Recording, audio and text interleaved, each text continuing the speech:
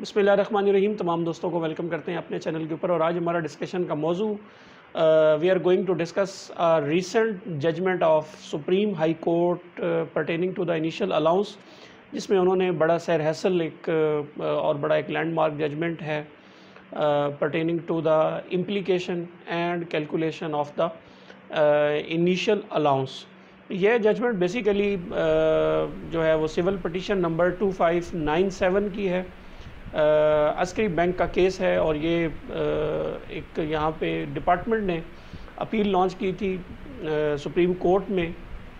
against the decision of Islamabad high court. इसमें basically जो use building है, एक बिल्डिंग जिसको ऑलरेडी यूज़ बिल्डिंग है, वो एक कंपनी ख़रीदती है, क्या उसके ऊपर वो इनिशियल अलाउंस जो है वो चार्ज कर सकती है या नहीं चार्ज कर सकती? Before get into the details of the judgement हम थोड़ा सा आपको रिकैप कराएँगे कि ये इनिशियल अलाउंस बेसिकली होता क्या है। अगर आप सेक्शन देखते हैं 23 of the income tax ordinance जो कि डील करता है इनिशियल अलाउंस को इसमें यह कहा गया है कि अगर आप कोई नया एसेट uh, जो है वो पाकिस्तान में फ़र्स्ट टाइम जो है वो इनकारपोरेट कर रहे हैं यूज़ कर रहे हैं तो उसके ऊपर आपको part two of the third schedule के मुताबिक जो आपको इनिशियल अलाउंस मिलता है वो 25 परसेंट का है। यानी कि 25 परसेंट जो कॉस्ट है उसको आप जिस साल में आप वो एसेट जो है वो लेके आते हैं उस साल में आप जो अपने इनकम है उसमें से टोटल जो उस एसेट की कॉस्ट है उस कॉस्ट का 25 परसेंट जो है वो आप लेस कर सकते हैं। सो so, ये बेसिकली एक इनिशियल अलाउंस है और इनिशियल अलाउंस का जो एक पूरा सीन है। अब थोड़ा सा बात कर लेते हैं इस केस के हवाले से इस जजमेंट के हवाले से। कि अस्करी बैंक रावलपिंडी का ये केस है। इस केस में हुआ ये था कि इन्होंने कुछ पुरानी बिल्डिंग या ऑलरेडी जो यूज़ बिल्डिंग्स थी वो अक्वायर की और उसके ऊपर इन्होंने 25 परसेंट जो है अपना इनिशियल अलाउंस जो है उसकी एडजस्टमेंट ली हुई थी जिसको बाद में चैलेंज किया गया और ये केस जो है वो, चूँकि पॉइंट ऑफ़ लॉ का केस था तो इसलिए पॉइंट ऑफ़ लॉ की वजह से ये केस सुप्रीम हाई कोर्ट तक तक पहुँचा जिसमें जो हाई कोर्ट है इसने भी ये जो फ़ैसला है वो अस्करी बैंक की फेवर में कर दिया।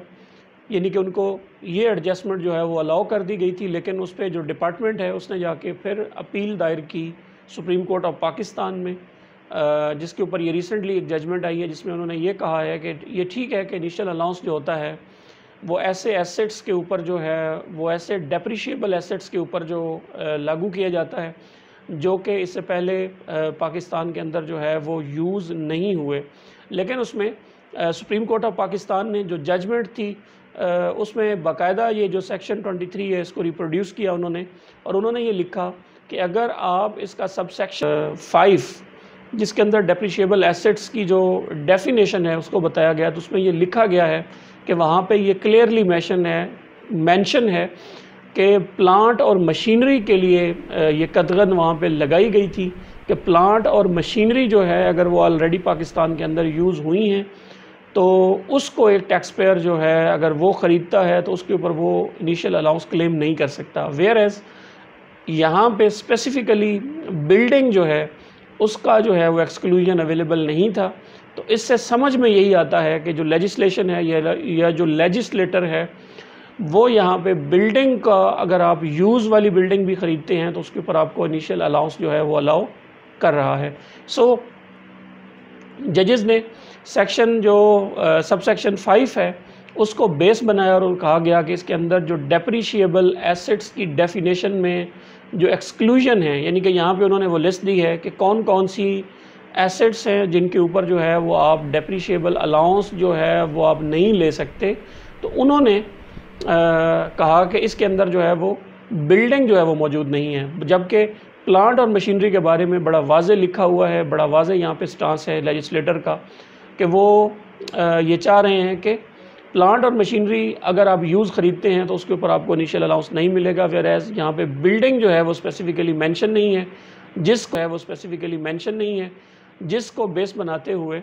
सुप्रीम कोर्ट ऑफ़ पाकिस्तान ने ये डिसाइड किया कि इनिशियल अलाउंस अगर आप एक यूज़ बिल्डिंग एक कंपनी ख़रीदती है तो उसके ऊपर उसको इनिशियल अलाउंस वो लेने की या एडजस्टमेंट करने की मजाज है। तो इसके बाद ये डिसाइड हो गया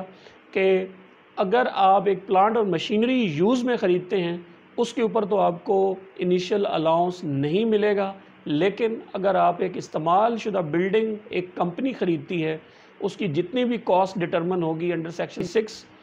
तो उस कॉस्ट का 25 परसेंट जो है उनको इसके ऊपर जो है वो क्रेडिट मिलेगा। यानी कि उनको एक्सपेंस जो है वो अलाउ होगा कि वो इनकम में से लेस कर सकते हैं। के लिए एक समरी है। उस जजमेंट की जिसमें